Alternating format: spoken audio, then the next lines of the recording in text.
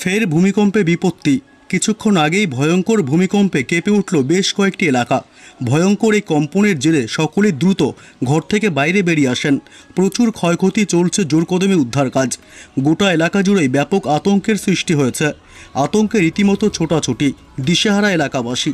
তবেই ভূমিকম্প কখন, কোথায়, কোন কোন এলাকায় ঘটেছে এবং কতটা ক্ষয়ক্ষতি হয়েছে এই ভূমিকম্পের ফলে?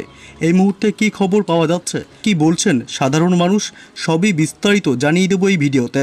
বিস্তারিত জানতে ভিডিওটি অবশ্যই শেষ পর্যন্ত দেখবেন। আর সবার আগে সবার প্রথম আপনার জেলার পরবর্তী লেটেস্ট খবরগুলি জানতে আপনার জেলার নামটি ভিডিওর কমেন্ট বক্সে কমেন্ট করে জানিয়ে দেবেন। তাহলে আপনার জেলার লেটেস্ট কোনো খবর বেরিয়ে আসলেই আমরা আপনাকে জানিয়ে দেব।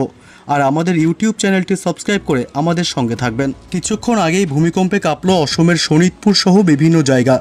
সকালে সেখানে চার দশমিক চার মাত্রার ভূমিকম্প আঘাত হানে। গুয়াহাটি সহ আশেপাশের এলাকায় শক্তিশালী ভূমিকম্প অনুভূত হয় কয়েক সেকেন্ডের জন্য। ন্যাশনাল সেন্টার ফর সিসমোলজি জানিয়েছে, ভূমিকম্পের কেন্দ্রস্থল ছিল Sonitpur national centre for seismology আরও জানিয়েছে শোনিতপুরে ভূপৃষ্ঠের পনেরো কিলোমিটার নিচে ছিল ভূমিকম্পের উৎসস্থল। সকাল আটটা তিন মিনিট পঁয়ত্রিশ সেকেন্ডে এই ভূমিকম্প অনুভূত হয়। এখনও পর্যন্ত এই ভূমিকম্পে হতাহতের কোনো খবর নেই। বাড়িঘরের ক্ষয়ক্ষতিরও কোনো খবর পাওয়া যায়নি। এর আগেও রবিবার দিল্লি সহ পার্শ্ববর্তী এলাকায় মৃদু ভূমিকম্প অনুভূত হয়। সেখানে আহত কিংবা ক্ষয়ক্ষতিরও কোনো খবর ছিল না। তবে ভূমিকম্প কয়েক সেকেন্ড স্থায়ী ছিল। সকাল এগারোটা বেজে তেইশ মিনিটে ভূমিকম্পটি হয়। চণ্ডীগড় সহ পাঞ্জাব এবং হরিয়ানার অনেক জায়গায় সে ভূমিকম্প অনুভূত হয়।